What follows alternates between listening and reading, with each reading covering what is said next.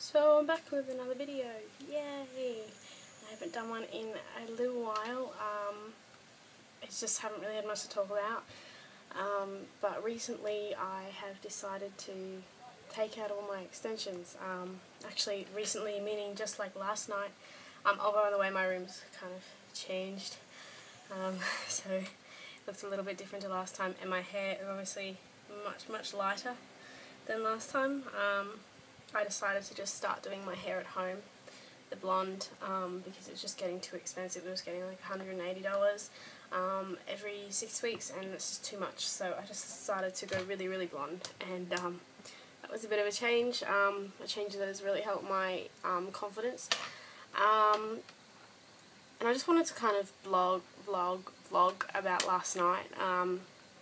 I redid my roots last night, and normally what I will normally do is when I get ready I will just blow dry and straighten my own hair and then like as I'm actually straightening the hair like so I'm going like that I actually put the extensions in. So I never actually get to see my hair for how it actually is.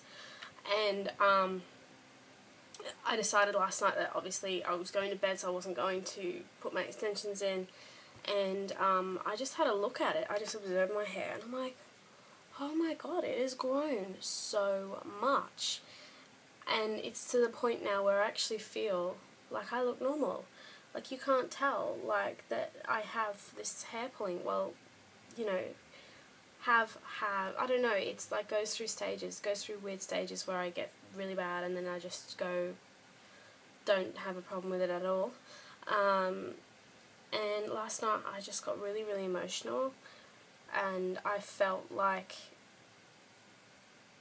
for the first time in seven years I can actually just wear my hair and feel good about it and um, feel like normal. Like you know for the last seven years since I was 15 I've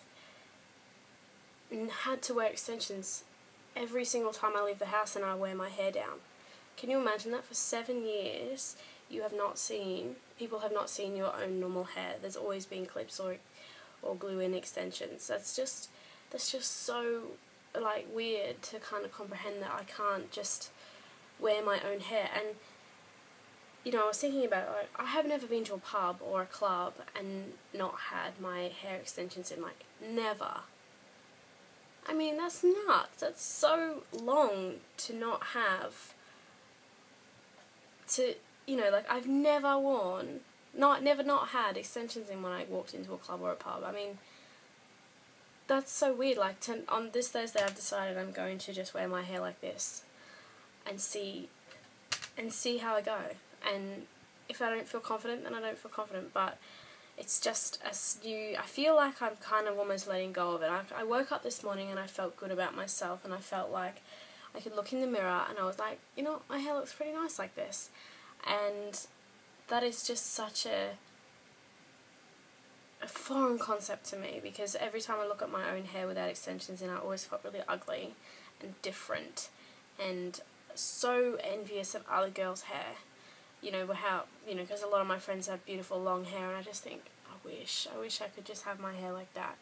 Um, the pulling has kind of been on and off. I think it's more so the um, treatments and the um, hair tablets that I've been taking and I just haven't really been trying with it. I've just been letting it grow and um, yeah, just using lots of um, leave-in conditioner because obviously the bleach, like I bleached it once all over to get this colour and then um, I've just been doing my roots so actually these bits haven't been dyed for um, since like you know at least September so um, when I was getting the foils um, she was doing it all over and I think maybe that's why I got a lot of breakage because now my hair has just seemed to have grown so much and it's so good.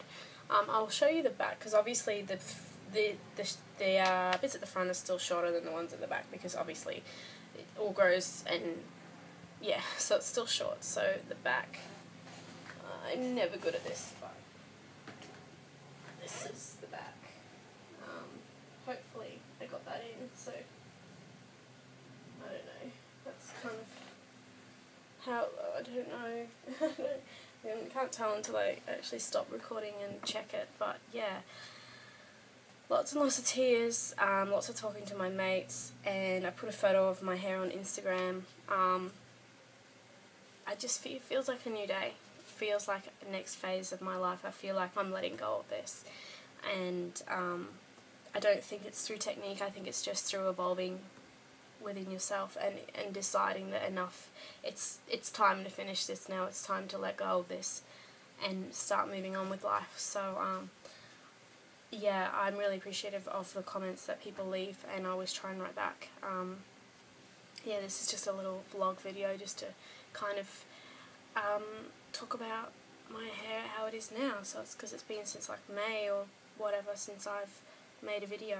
Um, so this has been oh, eight months nearly of, of progress. So if you want to go look at how my hair used to be, go look at my very first video. It's called Trichotillomania, a personal story. Thanks for watching guys.